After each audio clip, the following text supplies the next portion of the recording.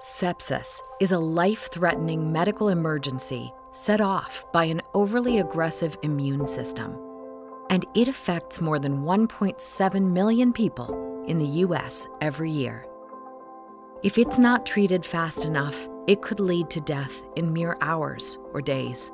In fact, for every hour treatment is delayed, your risk of death increases by 4 to 9%. Here's how sepsis spreads.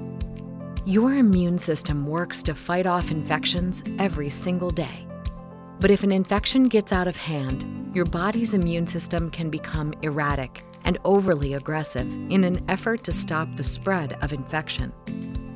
In that attempt to protect you, your body's immune cells dump certain chemicals into your bloodstream that cause widespread inflammation. Now, normally, inflammation would be a good thing but too much inflammation can damage your body's tissues and organs as it works its way through your entire body. If this isn't corrected, you can end up with dangerous drops in blood pressure, a widening of blood vessels, and the failure of major organs like your kidneys, lungs, heart, or brain.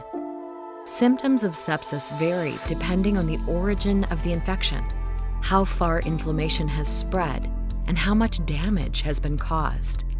If you have blood poisoning, you can develop a sepsis rash on your skin. But other common symptoms include fevers, shaking or chills, severe pain or discomfort, difficulty breathing, confusion or disorientation, increased heart rate, and low blood pressure. With sepsis, time is of the essence. If you have an infection that doesn't get better with treatment, or your symptoms worsen suddenly, see a healthcare provider right away.